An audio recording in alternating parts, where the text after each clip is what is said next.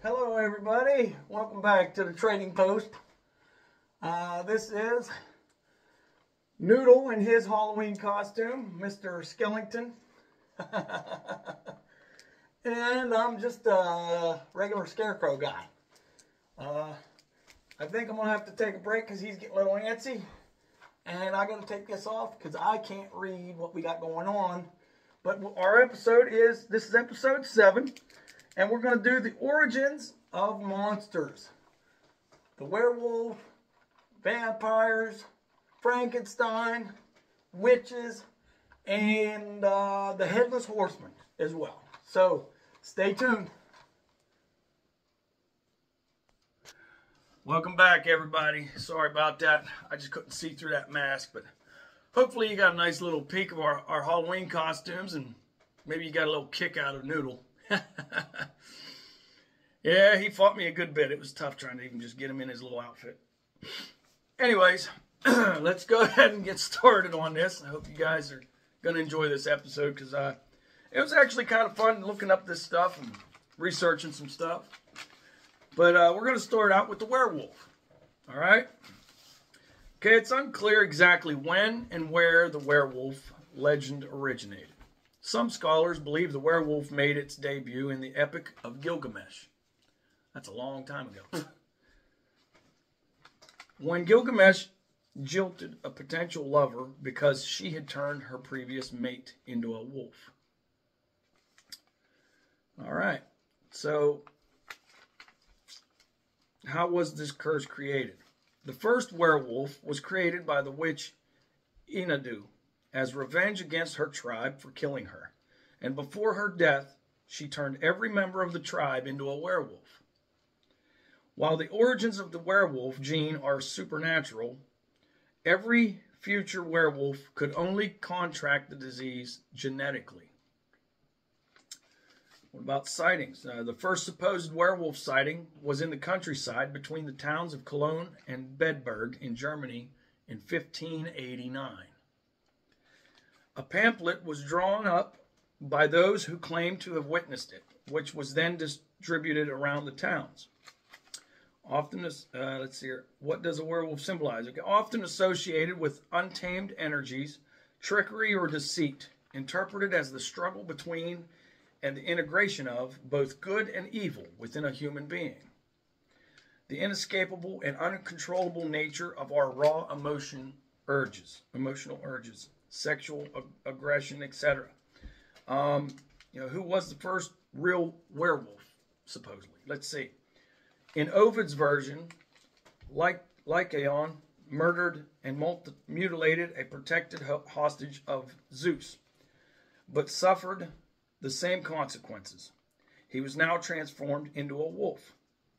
Ovid's Lycaon, is the Lycaon is the origin of the modern werewolf as the physical manipulation of his body hinges on his prior immoral behavior. And who was a werewolf in the Bible? Okay. Nebuchadnezzar II is considered to be the first ever and probably only werewolf in the biblical texts. And as such, his he is probably one of the most powerful werewolf on earth, only behind Lycan. As as a lycanthrope, he naturally behaves wolf-like. Its appearance is beastly. It has it has sharp teeth and claws on its hands and feet. Okay. And what was the most famous werewolf in history? Okay. Perhaps the most infamous example was the case of Peter Stump, executed in 1589. The German farm, the German farmer and alleged serial killer and cannibal, also known as the werewolf of Bedburg. What is the pagan symbol for werewolf? In heraldry, the vertical form of the Z with a line through it uh, is associated with Donnerkeil or thunderbolt, and the horizontal form of this symbol is associated with the werewolf. Early medieval pagans believed that the Wolfsangel symbol possessed magical powers and could ward off wolves. That's interesting. See, it's nice to learn some new stuff. Hopefully, you guys take something from this, at least learn something. Who is the most feared werewolf? The primordial werewolves are the second werewolves, as such, are the most feared and most powerful of all in existence. They first came into existence in the beginning of 7000 BC. There are 10 of them in total. They existed along with the primordial vampires and the original witch. Okay, um, and what is what's the life expectancy of, of a werewolf? Around 1700 years is their life expectancy. Where they get this, I don't know, but I, I pulled this. so I pulled this stuff up, and this is what I come up with. So the disease isn't real. Lycanthropy, lycanthropy is a rare psychiatric phenomenon seen in the context of various neuropsychiatric conditions and not a disorder itself. Its differenti- differentials include schizophrenia, delusional disorder, bipolar disorder, psychotic depression, epilepsy, organic causes. However, its presence is rare. And what are the three forms of werewolves? The human, the wolf, and the werewolf. Or Homid form, lupus form, and Crinos form, which human form is Homid form, wolf form is lupus form, and the werewolf is the Crinos form. Okay, what is a half-blood? Half-bloods are the result of a birth of a birth and not an infection. They are the result of a full werewolf and full human in union. What are examples of legends? One, the Epic of Gilgamesh. Two, Greek mythology. And three, Nordic folklore. This is where you'll see this as examples. And uh, I'm sure you're going to be surprised with this because uh, this was news to me. I didn't know really know anything about this part of this. Uh, but there was what they called uh, the werewolf trials. Never heard of that. But I'm going to start reading this for you. In 1521, Frenchmen Pierre Burgot and Michael Verdun allegedly swore allegiance to the devil and claimed to have an ointment that turned them into wolves. After confessing to brutally murdering several children, they were both burned at the stake. Another one, number two, Giles Garnier was known as the werewolf of Dole. He was, was another 16th century Frenchman whose claim to fame was also ointment with wolf morphing abilities. According to legend, as a wolf, he viciously killed children and ate them. He too was burned at the stake. Whether Burgot, Verdun, or Garnier were mentally, mentally ill, acted under the influence of a hallucinogen, or were simply cold-blooded killers is up for debate. But it like, but if likely, it likely didn't matter to superstitious Europeans during the 16th century. To them, such crimes can, could only be committed by a horrific werewolf. Number three, Peter, St- Peter Stubb, a healthy or a wealthy 15th century farmer in Bedburg, Germany, may be the most notorious werewolf of them all. According to folklore, he turned into a wolf-like creature at night and devoured many citizens of Bedburg. Peter was eventually blamed for the gruesome killings after being cornered by hunters who claimed they saw him shapeshift from wolf to man. He experienced a grisly execution after confessing under torture to savage to savagely killing animals, men, women, and children, and eating their remains. He also declared he owned an enchanted belt that gave him the power to transform into a wolf at will. At will. Not surprising, the belt was never found. Peter's guilt is controversial since some people believe he wasn't a killer, but the victim of a political witch hunt, or perhaps a werewolf hunt.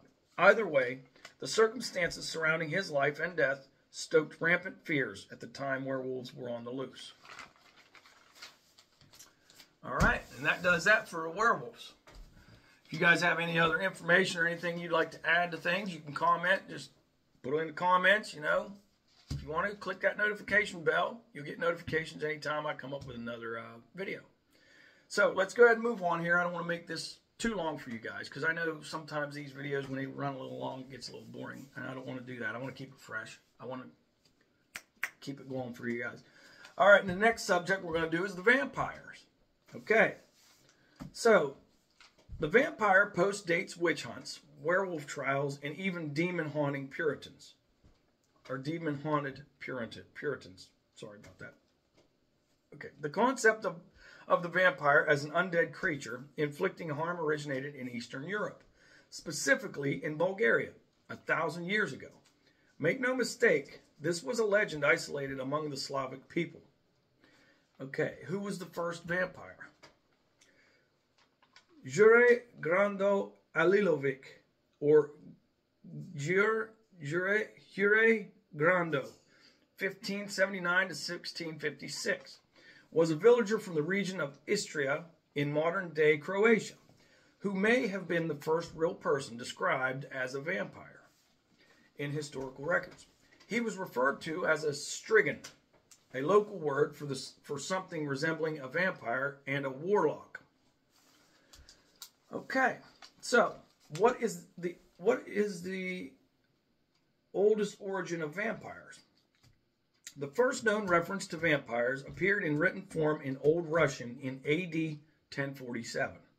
Soon after, Orthodox Christianity moved to into um, Eastern Europe. So, did vampires come from Egypt? That's interesting, huh? The first vampire story is is uh, tough to pinpoint, but seeds of the modern concept have appeared in mythology since the beginning of recorded history. The story of Sekhmet, the Egyptian feline warrior goddess associated with both plague and healing, is considered by some to be the oldest of vampire tales. That's interesting. Um, okay, what is uh, the origin of staking vampires? The idea of staking the undead to pin them to their grave originates as a medieval southern Slavic practice associated with vampire epidemics. In these cases, exhumed bodies were considered to be unnatural because they were undecayed, bloodied, or apparently fatter than in life, hence not truly dead. Of course, they didn't know what we know today, so yeah, take that with a grain of salt. Okay, who is the first vampire? The first vampire started out as not a vampire at all, but a human man named Ambrosio. He was an Italian born adventurer who fate brought to Delphi in Greece. In a nutshell, a series of blessings and curses transformed this young man into history's first vampire. Hmm, that was kind of broad. I wouldn't. Anyways, maybe we can do a second part on each individual cryptid if you'd like and I can break it down, maybe have more time to go into further detail with this stuff. I'm just trying to pinpoint some of the ones. Since this is Halloween, we want to try and cover some of these characters and, and maybe learn a little bit. Okay, so um, what's the weaknesses? Why can't va vampires cross water? Well, vampires, as enemies of God in Christ, were naturally repelled or impaired or injured by symbols of baptism Hence, they can't cross running water and have some sort of aversion or painful reaction to holy water. So, all right, let's go to another weakness. Let's see. What's the other weakness? Weakness. Uh, garlic. Specifically, the chemical compound allicin inside garlic is a powerful antibiotic. Some European beliefs around vampires stated they were created by a disease of the blood, so a powerful antibiotic would kill a vampire. Also, some of the other weaknesses is wood. Now, some of the stuff that's prefer it's preferred that they mostly use the most common wood used on stakes was hawthorn, but they you, they say you could also use ash, aspen, willow, and or ju ju juniper. Um, another weakness is sunlight or UV rays. They have no melanin in their skin, which is what causes them to burn from the UV light or the sun. Silver also is a weakness to them due to the fact that silver is seen as pure. They are not. Therefore, it inflicts damage to them. So, what are the types of vampires? Let's go into it. There's three types of vampires according to this, what to this research. One is sanguin, sanguinarian, two psychic, and three hybrids, which would be a cross between probably human and vampire, or I don't know. I would imagine that's what it is. Uh, it says sanguinarians feed on very small amounts of human blood, generally a few drops. They usually don't. they usually don't feed from the neck as the others The other types do. Okay, what's their lifespan? They live immortal lifespans despite their weak, these weaknesses, and it is fairly common for a vampire to be centuries old, although they still age slowly.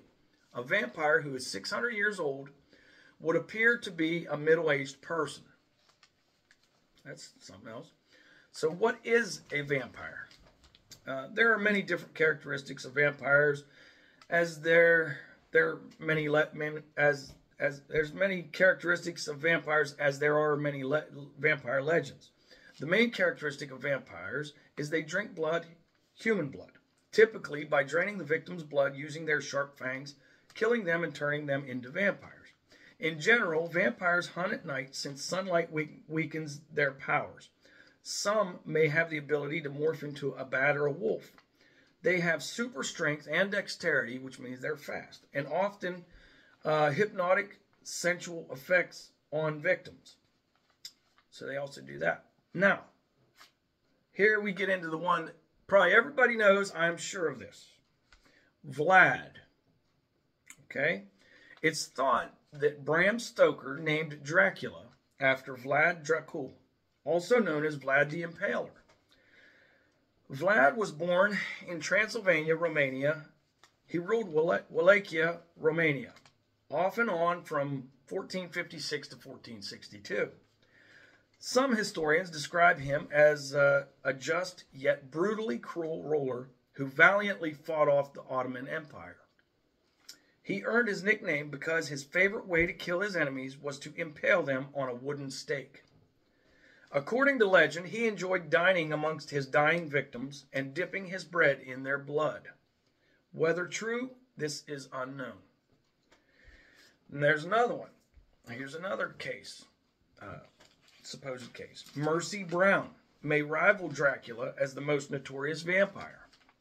She lived in Exeter, Rhode Island, and was the daughter of George Brown, a farmer. After George lost many family members, including Mercy in the late 1800s to tuberculosis, the community used Mercy as a scapegoat. That's sad. To explain their deaths. When Mercy's body was exhumed and didn't display severe decay, the townspeople accused her of being a vampire and making her family sick. They cut out her heart, burned it, then fed the ashes to her sick brother. That's pretty sick. Not surprisingly, he died shortly after. That's news to me. I'd never ever heard of that case, which that's frightening that they did something like that. That's sad. Anyhow, um, that's about it for the vampires. Now we got a little. I only got a little bit on Frankenstein because you know we'll we'll get into it here. But Frankenstein is the next one. The modern Prometheus, the book written by 20-year-old Mary Shelley, is frequently called the world's first science fiction novel. In the story of a scientist, uh, in, a, in the story, a scientist animates a creature constructed from dismembered corpses. The gentle, intellectually the gentle, intellectually gifted creature is enormous and hideous.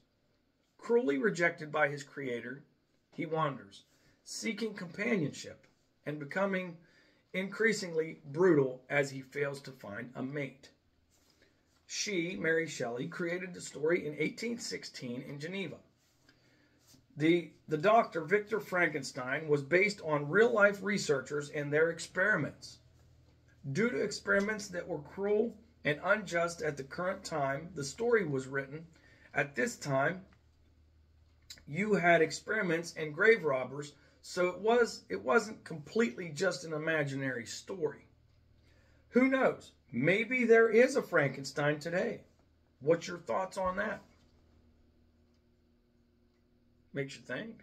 I mean, look at what all we got available nowadays. There's a lot going on, a lot of technology. Who knows? All right, let's jump into the next one. Witches, which has been around for seems like forever. But okay, let's start it off. It's unclear exactly when witches came onto the historical scene, but one of the earliest records of a witch is in the Bible in the the book of one uh, First Samuel, thought to be written between 931 BC and 721 BC. It tells the story of when King Saul sought the witch of Endor to summon the dead prophet Samuel's spirit to help to help him defeat the Philistine army. The witch roused Samuel, who then prophesied the death of Saul and his sons. The next day, Saul's sons died in, a, in battle, and Saul committed suicide. Okay, now you got witch hysteria really took hold in Europe during the mid 1400s, when many accused witches confessed, often under torture, to a variety of wicked behaviors. Within a century, witch hunts were common, and most of the accused were executed by burning, burning at the stake or hanging. Single women, widows, and other women on the margins of society were especially targeted. Between the years 1500 and 1660, up to 80,000 suspected witches were put to death in Europe. That is insane. 80,000 people. Wow. Around 80% of them were women thought to be in cahoots with the devil and filled with lust. Germany had the highest witchcraft execution rate, while Ireland had the lowest. That's interesting. The book Malleus Maleficarum, written in 1486, likely spurred witch mania to go viral, usually translated as the Hammer of Witches. Was essentially a guide on how to identify, hunt, and interrogate witches. Okay, now, this is a famous point in time that it's sad, but it happened. Salem witch trials. In January of 1692, a group of young girls in Salem, Massachusetts became consumed by disturbing fits accompanied by seizure, seizures, violent contortions, and blood curdling screams. One of the most famous witches in Virginia's history is Grace Sherwood whose neighbors said she killed their pigs and hexed their cotton. She was brought to trial in 1706. She wasn't killed after being found guilty, but put in prison for eight years. Hmm. It's a good little bit on witches. Now we're going to start with the last subject, okay? The headless horseman. You don't really hear much about him, which that's why I was kind of really interested to try and dig into this one a little bit. So I hope you guys like what, what information I was able to bring to the table today. Um, so let's let's continue on. The Headless Horseman. Washington Irving's in 1820 tale of Sleepy Hollow of a Headless Horseman terrorizing the village of Sleepy Hollow is considered one of America's first ghost stories. But Irving didn't invent the idea of a headless rider. Hmm. So it's this predates 1820. So been around for a while. Tales of headless horsemen can be traced to the Middle Ages, including stories from the Brothers Grimm and Dutch and Irish legend of the Dullahan or the or the Gan Ceann, a grim reaper-like rider who carries his head. It is believed Irving was likely influenced by Sir Walter Scott's 1796 The Chase although there are many who think he was inspired by an actual Hessian soldier who was decapitated by a cannonball during the Battle of White Plains around Halloween 1776. That's interesting. It's also thought he was introduced to ghost stories at an impressionable age. He cleverly weaves together factual locations, some actual family names, and a little bit of Revolutionary War history with pure imagination. So it's a culmination of all and, uh, and fantasy. It's said it's a melting pot of a story, which uh, I can understand that. The horseman supposedly seeks revenge and a head which he thinks was unfairly taken from him. This injustice demands that he continually search for a substitute. The horseman, like the past, still seeks answers, still seeks retribution, and cannot rest. Okay. Um, in closing, what are you what are your thoughts on these subjects? I mean, do you think any of this stuff has factual basis? I mean, seems like some of it does, uh, Or is it all just puppycock? You be the judge. I mean, if you want, you know, I could do a I can do a part two on any specific one of these, or or all, if you would like. Just do a whole other second special with this, but you have to let me know. I want to do what you want me to do. Okay? I'm looking in. I'm interested. I'm interested in all kinds of subjects, so I'll do anything. Doesn't matter to me.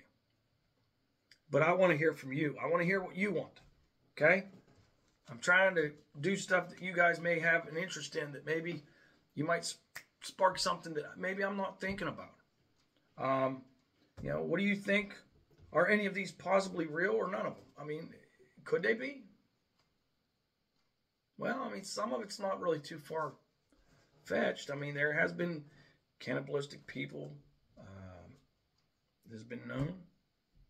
Uh, I'm sure there's been people that have drank blood. I mean, things of that sort. So yeah, technically there could be really vampires that have been out there.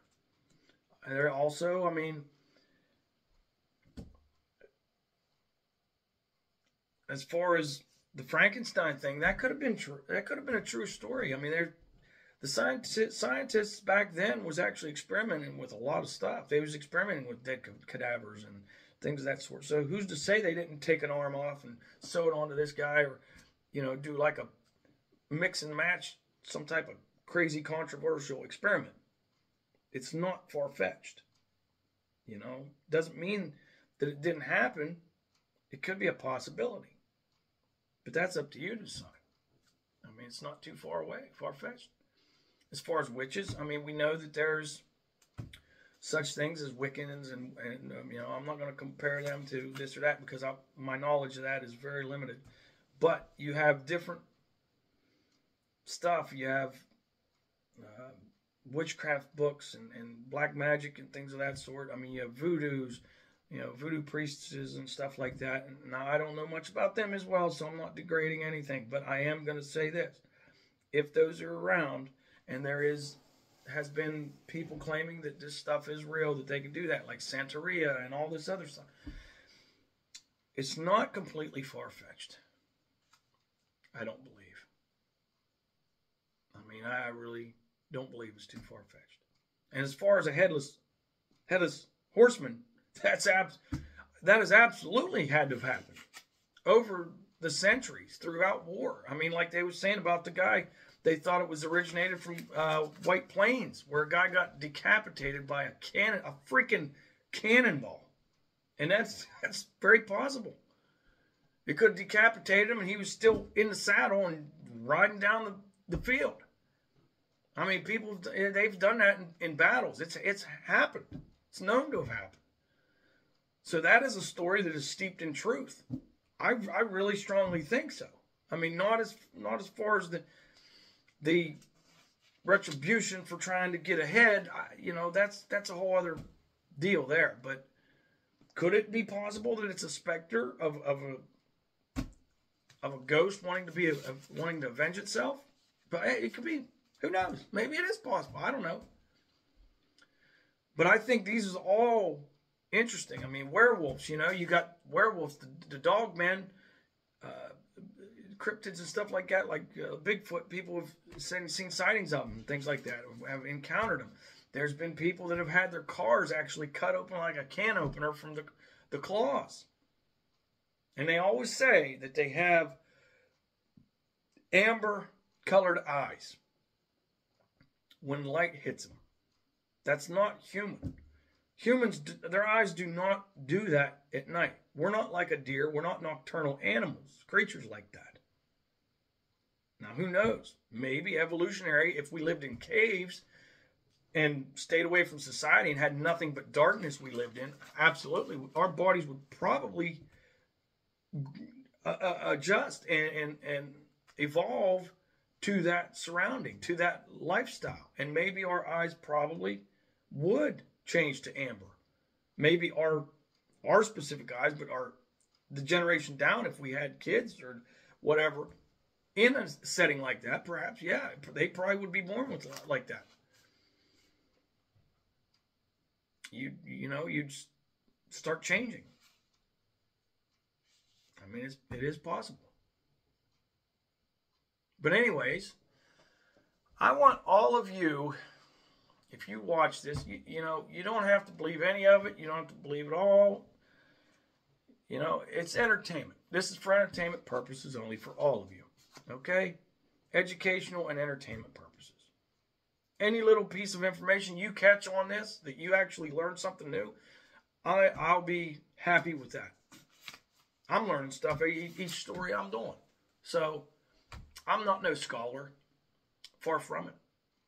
But I'm I'm I'm doing this because I want to personally learn myself. You know, I enjoy doing this. You know, I don't expect to get subscriptions, likes, and all that craziness. I, I really don't. But if I at least get people to watch, even if it's just a minute or two of each episode, that's fine. I'd like to see you just at least, maybe if you watch the whole thing, maybe you'll, you'll learn something. You know, and at the very least, if you want, hit that little notification bell and you'll be notified for other videos when they come out. And this is the Halloween special, episode 7 The Origins of Monsters. The Halloween special. Thank you all for tuning into the Trading Post. And uh, I think I'm going to do another one. Uh, I think my ne- next episode perhaps may be missing 411 disappearances. And I'm going to try and do specifically in the Appalachian area, the Appalachian mountain ranges, the um, yeah, the Appalachian Trail, etc., up through there, and the Bennington Triangle that goes all around that trail. The trail goes right through the middle. So, anyways, we'll talk about that on that on that episode whenever I, I get it going. Okay, and it may be maybe sooner than you expect. Um, currently doing research on that, and we're going to go into cases on certain people that have disappeared, uh, and and in the means that they have disappeared will will shock you. You know, I mean, but we're going to go through all that. We're going to talk about some different things and different theories. We're going to theorize about certain possibilities of how they disappeared, why they disappeared, and what caused them to disappear. You know. Until then, you guys stay true to yourselves. All right? Find your own truth. Do your own research. If you're interested in the subject, dig into it. Find out what you can. And if you find out any information that I did not bring to light, I'm sorry, but I will be glad if you if you comment, send me a comment about it and let me know what you find out. Send me your information. Because I'll be glad to do a um, an episode on that to rectify things. You know, maybe redo the episode or something. We'll figure that out. But we'll do that in time whenever that we hit that juncture. All right, everybody. You have a great day, great night, whatever time it is when you're watching this thing. Um, Noodle or Rocket. I like calling him Rocket, but his name is Noodle. So he is ornery. You know how hard it was to get him in that daggone suit? It was rough. Yeah. Yeah. So I knew I wasn't going to be able to keep him in it very long. now, if I could have seen through my mask, I'd have kept it on throughout the episode, but I couldn't read. I couldn't, you know, I wouldn't be able to give you the proper attention here and, and do what needed to be done. But, anyways, y'all, have a great day. Be true to yourself. Seek your truth. Bye. Trading Post, post out.